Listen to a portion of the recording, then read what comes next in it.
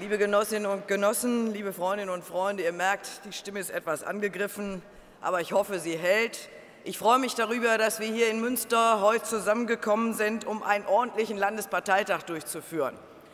Aber so wie man die Sozialdemokratie kennt, kommt es erstens anders und zweitens, als man denkt. Und deshalb darf ich mich heute noch mehr freuen. Ich freue mich darüber, dass Sigmar Gabriel Peer Steinbrück vorgeschlagen hat als Kanzler der Bundesrepublik Deutschland. Lieber Peer, schön, dass du heute bei uns bist.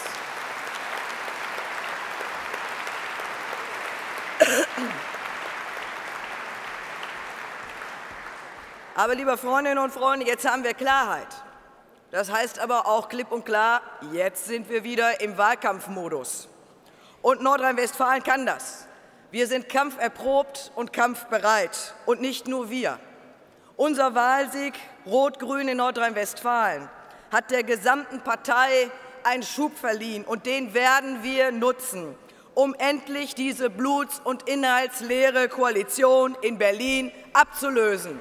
Das ist unser Ziel, und daran wollen wir arbeiten.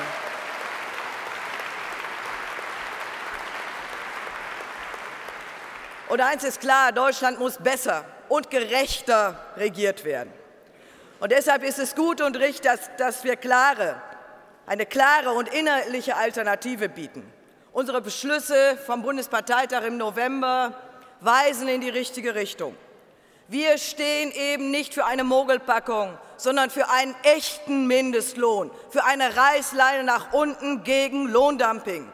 Wir stehen gegen Auswüchse bei der Leih- und Zeitarbeit und auch gegen das zunehmende Unwesen bei den Werkverträgen. Und wir sind für eine wirkliche Quote, die diesen Namen auch verdient. Wichtige Beschlüsse, klare Abgrenzung zu den anderen. Für uns sind das Fragen von Gerechtigkeit. Und sie haben auch, wir haben es gerade gehört, mit Fragen der Würde des Menschen zu tun. Und das Gleiche gilt auch bei der Rente. In wesentlichen Punkten haben wir hier schon auf der Bundesebene große Einigkeit erzielt. Und ich muss sagen, ich finde die Beschlüsse sehr gut. Die Erwerbsminderungsrente, die wir auf den Blick bringen wollen, die Teilrente, die Solidarrente. Und es ist richtig, dass wir besondere Regeln haben für diejenigen, die 45 Versicherungsjahre voll haben. Auch dazu steht die Sozialdemokratie in Deutschland.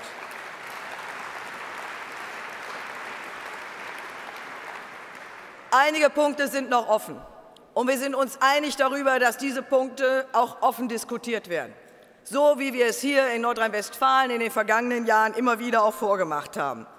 Diese Punkte werden bei uns hier in Nordrhein-Westfalen auf einem Sonderparteirat im Oktober diskutiert werden. Wir werden in aller Ruhe und mit einer sachlichen Diskussion, so wie das im Moment übrigens auch auf der Bundesebene läuft, in aller Ruhe eine Position finden. Und ich bin sehr zuversichtlich, dass wir dann auch im November beim Parteikonvent einen guten Beschluss, einen guten Kompromiss hinkriegen werden. Lasst uns daran arbeiten, liebe Freundinnen und Freunde.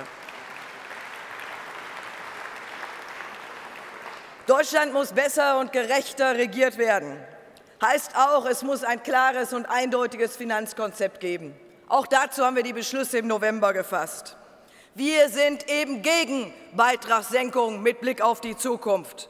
Wir sind klar der Meinung, dass die starken Schultern in diesem Land mehr tragen müssen, weil wir einen handlungsfähigen Staat auf allen Ebenen, Bund, Land und Kommunen brauchen.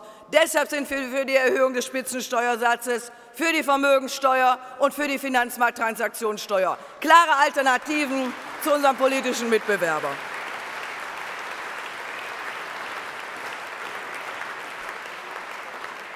Und gut ist auch, dass wir in diesem Finanzkonzept klare Prioritäten auf der Ausgabenseite definiert haben. Erste Priorität, wie hier im Land, Kinder und Bildung. Wir stehen klar an der Seite der Familien. Wir wissen, dass eine echte Wahlfreiheit für Familien erst dann gegeben ist, wenn alle, die einen Platz haben wollen, auch einen bekommen. Und deshalb stimmen wir gegen die Fernhalteprämie, die Betreuungsgeld genannt wird. Auch das klare Abgrenzung der Sozialdemokratie in Deutschland.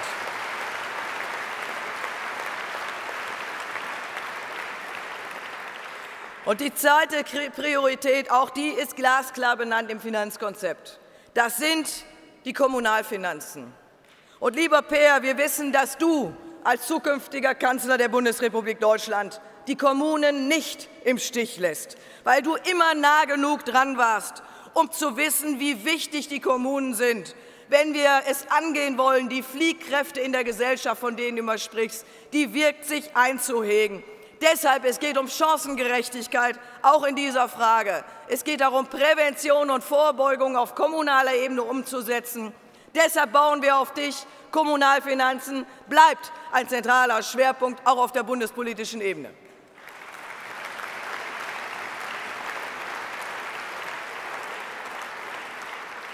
Und klare Abgrenzung auch in Bezug auf die Finanz- und Eurokrise. Wir sind uns einig in der Sozialdemokratie. Wir wissen, dass die Finanzmärkte klare Regeln brauchen. Und deshalb auch heute ein Dank an dich, du sprichst ja gleich noch, für dein Konzept, für diese Regulierung. Wir sind, wissen nämlich ganz genau, mit den Maßnahmen, die wir mit unterstützt haben in Berlin, und das bleibt richtig, mit diesen Maßnahmen haben wir uns im Grunde nur Zeit gekauft. Und diese Regierung, CDU, CSU und FDP, ist ganz offenbar nicht willig, diese Zeit zu nutzen. Wir müssen sie nutzen, um endlich diese Finanzmärkte zu regulieren, damit wir nicht immer wieder in diese Katastrophen hineinlaufen, liebe Genossinnen und Genossen.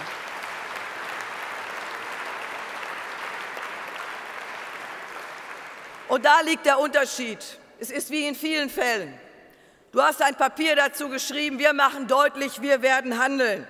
Während Frau Merkel wie immer alles nur aussitzen will, die kommt einfach nicht zur Potte und deshalb ist ihre Zeit auch abgelaufen, liebe Freundinnen und Freunde.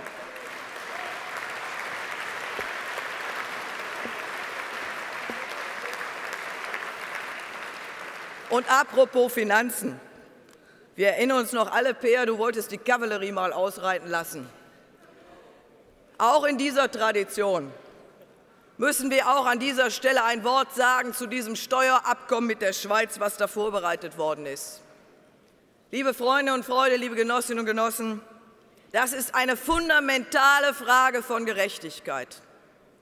Norbert Walter Borjans hat es immer wieder deutlich gemacht. Wir hätten gern ein Abkommen, aber dieses Abkommen können wir nicht mittragen, weil es nicht sein kann, dass diejenigen, die ihr Geld hier weggeschafft haben, und das sind nicht nur Gelder, wo Steuern hinterzogen werden, sondern es sind auch Gelder aus Verbrechen, dass die dann da sitzen, weniger an Strafe bezahlen, als sie sonst zahlen müssten und dass sie immer noch anonym bleiben und dass sie eine weiße Weste bekommen. Das ist mit Sozialdemokratie in Deutschland nicht zu machen und dabei bleibt es auch.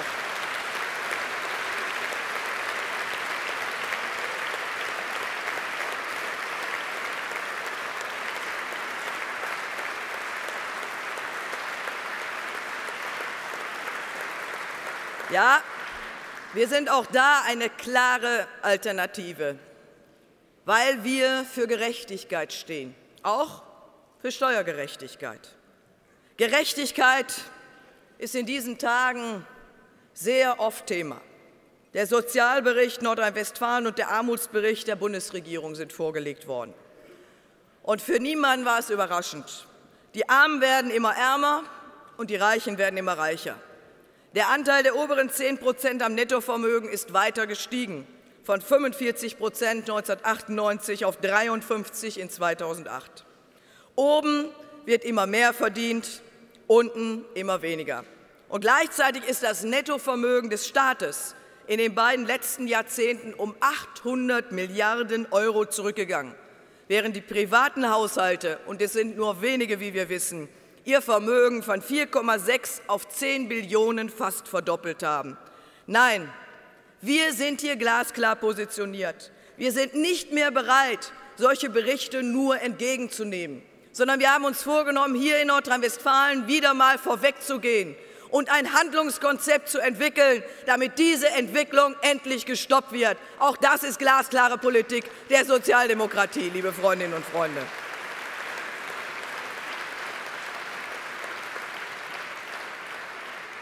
Ja, Menschen, die in Sorge um ihre Existenz leben, brauchen schlichtweg mehr Geld in der Tasche.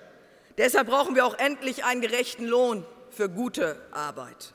Gesetzlicher Mindestlohn ist überfällig. Denn eins ist völlig klar, Altersarmut, lasst uns das nie vergessen, ist immer eine Folge von Erwerbsarmut. Und deshalb gilt unsere allererste Schlacht, der Erwerbsarmut entgegenzutreten, liebe Freundinnen und Freunde. Das ist die richtige Zielrichtung.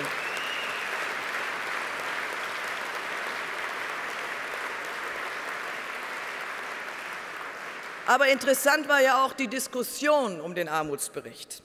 Der hat nicht nur die Kluft zwischen arm und reich deutlich gemacht, sondern er hat auch die Kluft gezeigt innerhalb der Bundesregierung, dass sowohl der Vizekanzler FDP als auch der CDU-Finanzminister Schäuble dem Armutsbericht die Zustimmung verweigern, zeigt mir eins. Im Bund, in der Bundesregierung herrscht Realitätsverlust. In dieser Koalition hilft keine Paartherapie mehr. Der Zerrüttungstatbestand ist längst gegeben, wenn das nicht der letzte Beweis dafür war, liebe Freundinnen und Freunde.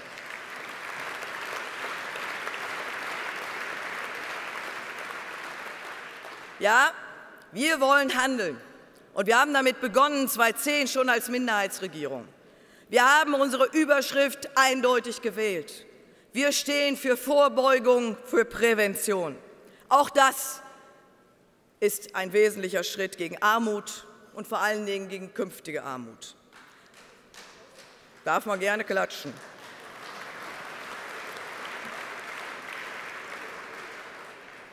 Kaum irgendwo ist der Zusammenhang zwischen Herkunft und Zukunft so eng wie in Deutschland.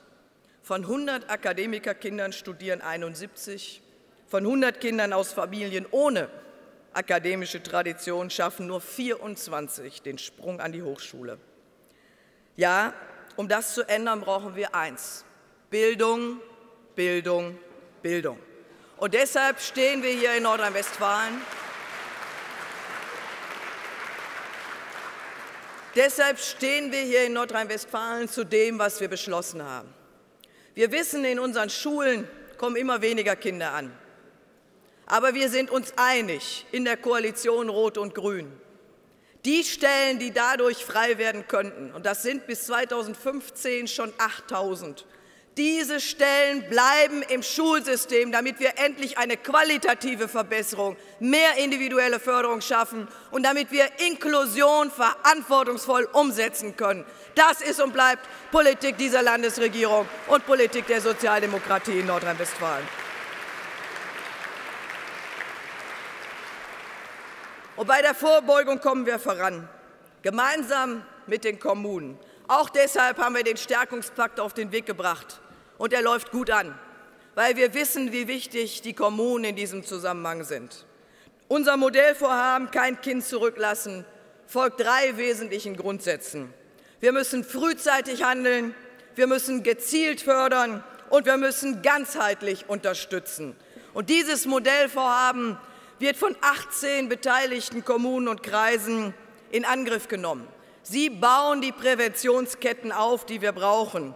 Und deshalb sind wir irgendwann in nächster Zukunft in der Lage, messbare Ziele zu formulieren, die Sie in den kommenden Jahren dann umsetzen werden.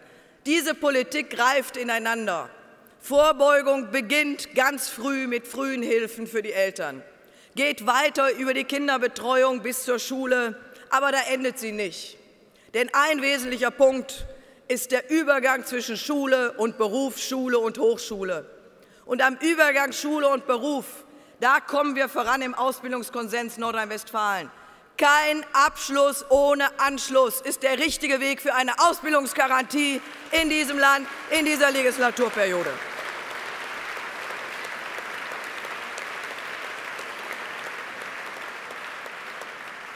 Ja, wenn wir über Vorbeugung reden, über Bildung, Betreuung, frühe Hilfen, dann geht es um die Zukunftsfähigkeit unseres Landes. Und Zukunftsfähigkeit gilt es auch finanziell herzustellen. Deshalb sind wir uns einig, die Null-Neuverschuldungsgrenze 2020 wollen und werden wir erreichen. Das wird nicht einfach werden. Wir haben uns vorgenommen, in dieser Legislaturperiode eine Milliarde aufwachsend strukturell einzusparen. Das wird an vielen Stellen auch wehtun. Einsparung, ohne dass es jemand merkt, kann es nicht geben. Aber das Ziel ist richtig und ist wichtig. Aber wir bleiben auch dabei, dass der Dreiklang gegeben sein muss. Einsparen, an den richtigen Stellen investieren, in Kinder und in Bildung und in Vorbeugung und die Einnahmen erhöhen. Das bleibt politische Linie der Sozialdemokratie in Nordrhein-Westfalen.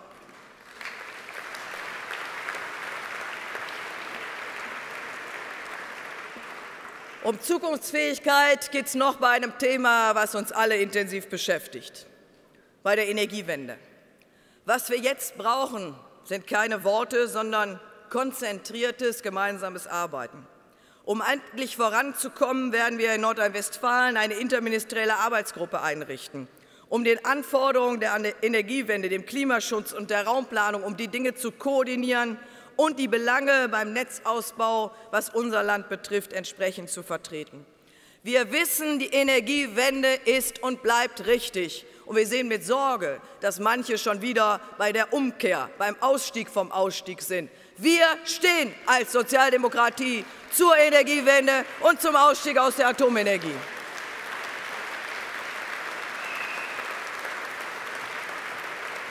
Und wir stehen auch dazu, weil wir wissen, dass darin für Nordrhein-Westfalen, für das Industrieland Nordrhein-Westfalen gigantische Chancen liegen. Im letzten Jahr konnten wir in Nordrhein-Westfalen 14.000 zusätzliche Arbeitsplätze in der Industrie schaffen. Viele davon in dem Bereich, der eng verknüpft ist mit der Energiewende. Nicht ohne Grund. Jedes zweite Getriebe einer Windkraftanlage weltweit stammt aus Nordrhein-Westfalen.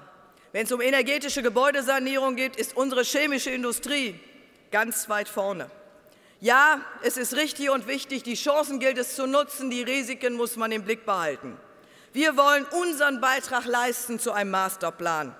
Der muss endlich auf den Weg gebracht werden. Ich mache mir zunehmend Sorgen, dass wir wertvolle Zeit verlieren.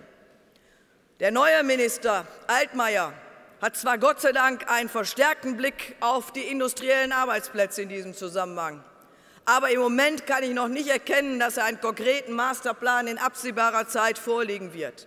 Wir brauchen ihn aber dringend, weil dieses Fehlen eines Masterplans ein Fehlen für Investitionen, der Sicherheit von Investitionen in der Wirtschaft auch unseres Landes bedeutet. Wir müssen alle an einen Tisch holen. Es muss klar sein, wie das Szenario in der Zukunft aussieht. Und es muss klar sein, wer was wann tut. Das ist ein Masterplan. Und meine Sorge ist, dass Herr Altmaier im Moment die Aufgabe hat, uns alle ein bisschen nett zu betüddeln, damit sie über die Bundestagswahl kommen. Das wäre fatal für den Standort Nordrhein-Westfalen. Und da werden wir weiterhin dagegen mobil machen.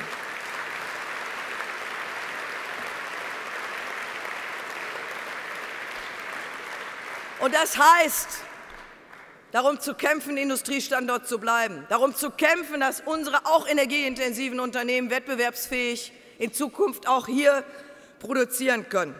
Denn wir wissen, manchmal habe ich den Eindruck, die Vertreterinnen und Vertreter von CDU, CSU und FDP haben das gar nicht auf dem Schirm. Wir wissen, das ist nicht Old Economy. Wir wissen an den industriellen Arbeitsplätzen, da hängt der Dienstleistungsbereich, da hängt der Service und die Kreativwirtschaft in der Wertschöpfungskette hinten dran. Und deshalb steht die Sozialdemokratie bundesweit so deutlich zum Industriestandort Deutschland.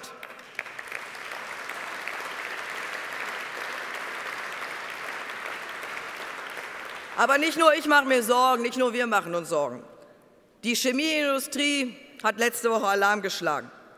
Sie schreibt einen Brandbrief an die Kanzlerin in Sorge um die Energieversorgungssicherheit und die Wettbewerbsfähigkeit der Branche wegen der unkalkulierbaren Folge der Energiewende. Und schließlich, uns ist eins auch völlig klar. Auch bei der Energiewende geht es um eine Gerechtigkeitsfrage. Wir wollen sicherstellen, dass Energie zu bezahlbaren Preisen für die Bürgerinnen und Bürger aber auch für die energieintensive Industrie auch in Zukunft zur Verfügung steht. Daran müssen wir gemeinsam arbeiten, liebe Freundinnen und Freunde.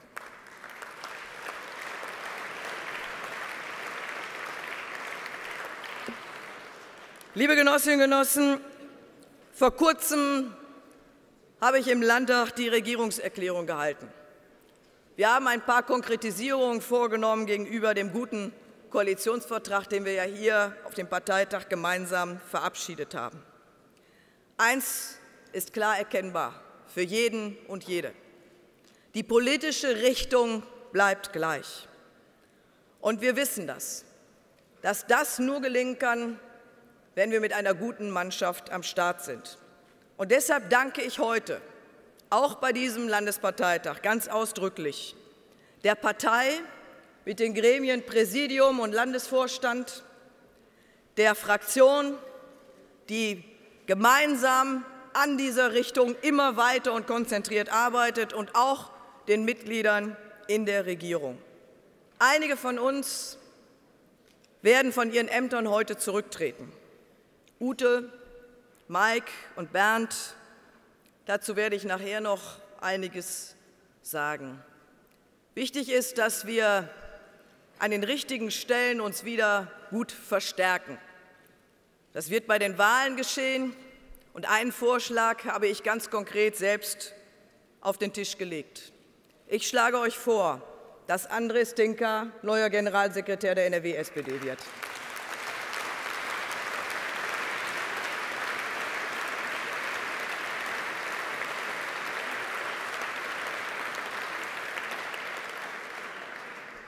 Eine Zeitung hat in der Woche geschrieben, kein Lautsprecher, aber auch kein Leisetreter. Für mich war entscheidend, wir kennen uns gut aus der Landtagsfraktion. Du bist in wichtigen landespolitischen Themen zu Hause. Du hast bewiesen, dass du dich durchkämpfen kannst und dass du Steherqualitäten hast. Und so jemanden brauchen wir in dieser Position. Ich würde mich freuen, wenn ihr seine Wahl unterstützen würdet.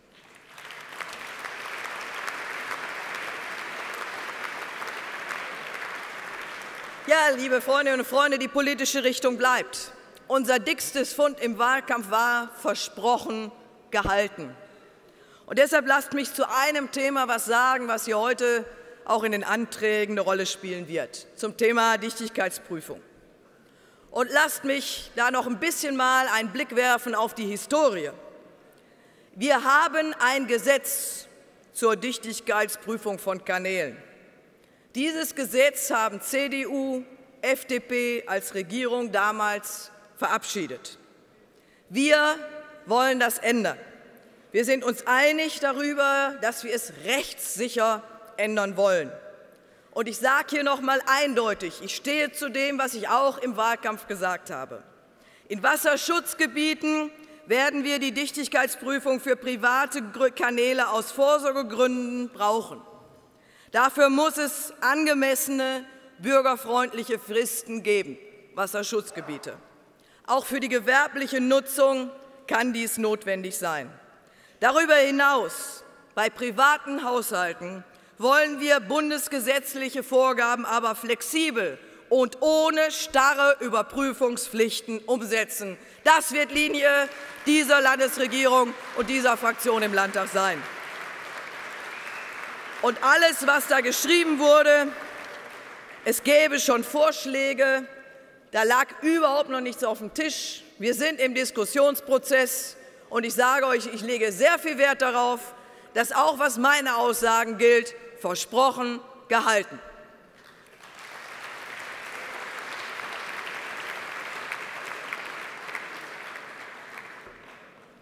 Der rote Faden meiner Rede, ihr habt das gemerkt, war der Begriff Gerechtigkeit. Und da sind wir bei unseren Grundwerten. Freiheit, Gerechtigkeit und Solidarität. Und obwohl wir im nächsten Jahr 150 Jahre alt werden als Sozialdemokratie, haben diese Grundwerte nichts an Aktualität verloren. Willy Brandt hat gesagt, nichts kommt von selbst und nur wenig ist von Dauer. Das bedeutet auch, wir müssen immer und immer wieder neu für diese Grundwerte kämpfen. Erinnern wir uns. Beim letzten ordentlichen Landesparteitag war die SPD noch in der Opposition. Wir haben dann in zwei Wahlkämpfen die Gerechtigkeitsfrage in den Mittelpunkt gerückt. Mit Erfolg. Die Sozialdemokratische Partei ist wieder die klare Nummer eins in diesem Land. Wir haben einen Politikwechsel eingeleitet und eine Politik gemacht, die den Menschen und nicht den Markt in den Mittelpunkt stellt. Wir haben die Studiengebühren abgeschafft, das letzte Kita-Jahr beitragsfreigestellt, die Mitbestimmung wieder in die Position gerückt, wo sie hingehört und vieles andere mehr. Und wir sorgen dafür, dass unsere Kinder endlich alle Chancen bekommen. Das ist aus unserer Sicht eine fundamentale Gerechtigkeitsfrage. Und dabei werden wir nicht müde, liebe Freundinnen und Freunde.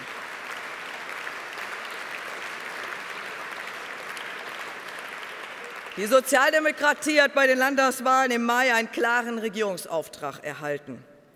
Ihr habt gekämpft wie die Löwen. Gemeinsam mit den Grünen haben wir einen guten Koalitionsvertrag ausgehandelt.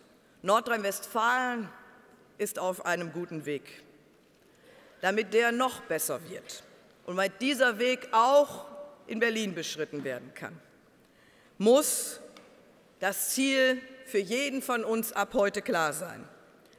Wir wollen erreichen, dass die Sozialdemokratie bei der Bundestagswahl stärkste Kraft wird. Wir wollen Rot-Grün im Bund. Nordrhein-Westfalen ist das beste Beispiel, dass das gut gelingen kann.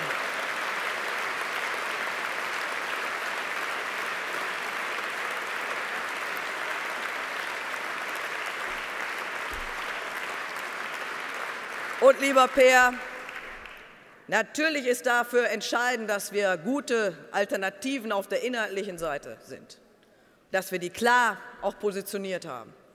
Aber entscheidend ist auch, wer diese Partei in diese Wahlauseinandersetzung führt. Und deshalb sage ich dir heute vom ganzen Herzen, wir freuen uns darüber, dass ein Nordrhein-Westfale der nächste Bundeskanzler der Bundesrepublik Deutschland wird. Wir stehen alle hinter dir. Glück auf, auf geht's. Danke euch.